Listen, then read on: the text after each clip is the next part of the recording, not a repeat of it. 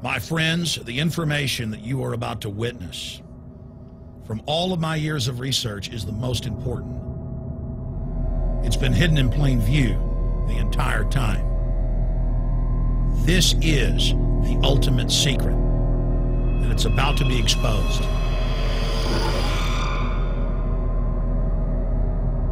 I have hundreds of government documents, textbooks, white papers, where for over 80 years, the elite of the Western world have talked about adulterating food and water to sicken and sterilize the population for the purpose of eugenics.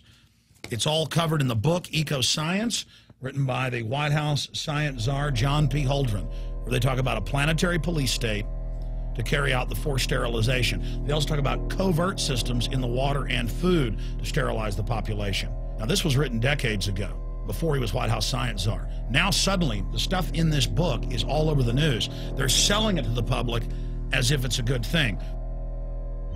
You see here before you what an average person would buy when they went shopping at the store. Not everything here is bad for you, but much of it has compounds and artificial chemicals that have been added that are extremely toxic and bad for your health. And they have known this the entire time and they have approved them for use. Let's start with aspartame.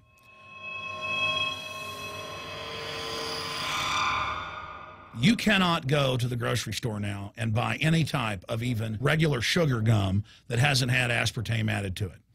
In the 1970s, Searle tried to get it approved and they couldn't. It took them three separate times because in their own studies with monkeys, large portions of them that were fed it died and contracted cancer. Now we have mainstream news articles, and the EU has done a major study finding lower birth weights, early birth, and yes, miscarriages from women that drink aspartame laden soft drinks like Coke Zero. What is aspartame? It is the fecal matter of the E. coli bacteria. They took it and genetically engineered it. They can feed it toxic waste, and then it defecates aspartame. And it has so many bad health effects, it's just unspeakable.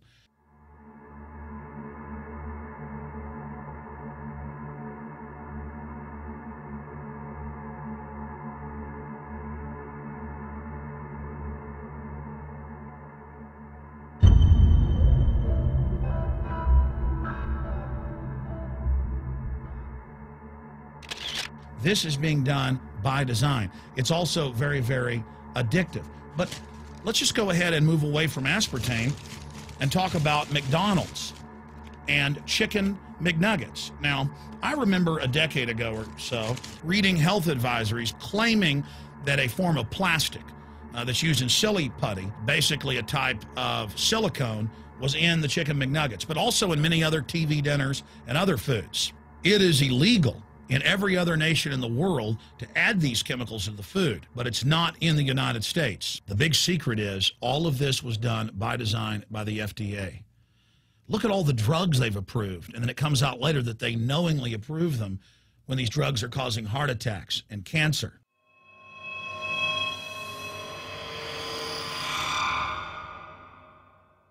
In the Nuremberg trials, it came out that the Nazis were adding sodium fluoride to the water supply in the labor camps and death camps to make the population more docile and controllable. There had been hundreds of university studies before Hitler even came to power. This is a form of forced medication. They admit that one part per million of sodium fluoride more than doubles the chance of bone cancer in boys and men. As the public became educated in the last few decades, the government industry's response was to not just put it in water, but to start adding it to thousands of products like children's water that's mixed with their formula or with their cereal.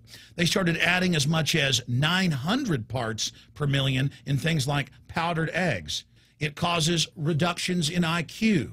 It increases sterility or lack of fertility. And it's being added to so many of the daily staples that we consume. We'll get back to food additives in a moment. But first, I wanted to look at genetically modified organisms.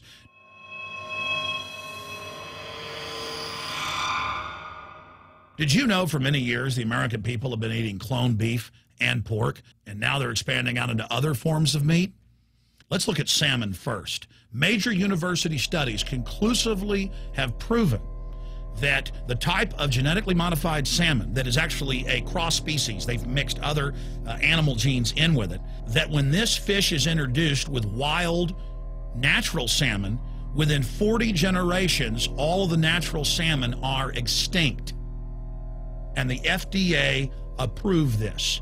And they're going to allow it to be released into the wild that isn't even a salmon, it is a cross species chimera it is a mixture like something out of the island of Dr. Moreau, something out of a nightmare.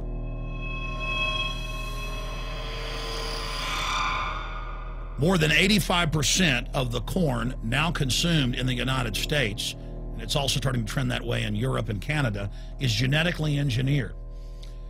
It grows its own pesticide uh, within the corn kernels so that insects won't eat it. If the insects can't eat this and live, what do you think is going to happen when lab rats or humans eat it? We have literally hundreds of studies showing that not just Monsanto's, but other major GMO companies' corn, that's the majority of corn we're now eating today in the United States, has been linked to organ failure in lab animals. The studies also show massive increases in sterility in rats and guinea pigs that are fed not just GMO corn, but GMO cotton seeds.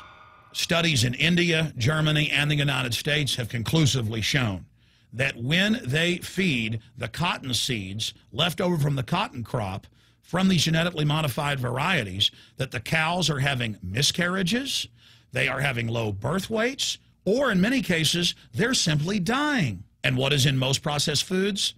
Genetically modified cottonseed oil.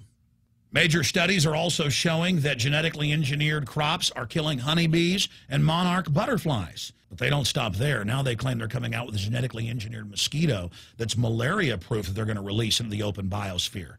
The very genetic code of the planet is being butchered in a hostile corporate takeover. Many years ago, an executive from Monsanto was quoted in National Geographic as saying that that is their program that they want to basically have their crops and their organisms take over the entire biosphere of this planet. And the major genetic engineer companies have focused mainly on eight major food crops. Now they're expanding out into hundreds and hundreds and hundreds of other plants, literally changing the genetic code of the planet. This is a genetic dictatorship. This is genetic vandalism. And that's why the Rockefellers, United Nations, and others have built these giant armored seed vaults all over the world, not just at the Arctic Circle. And they admit they're doing it in case all of this gets out of hand, that they'll have a type of Noah's Ark. So all these fake environmental groups, they never complain about this. They never talk about true environmental degradation. They want to put a tax on carbon dioxide that humans exhale, that plants respirate from and carry out photosynthesis with as a way to shut down industrial society and control every facet of our lives. That's the big secret. This is a population reduction program. It is an epidemic the sperm count has dropped in the Western world exponentially. Even the government has been predicting within another generation, almost everyone is going to be sterile. This is the globalist religion. This is their philosophy.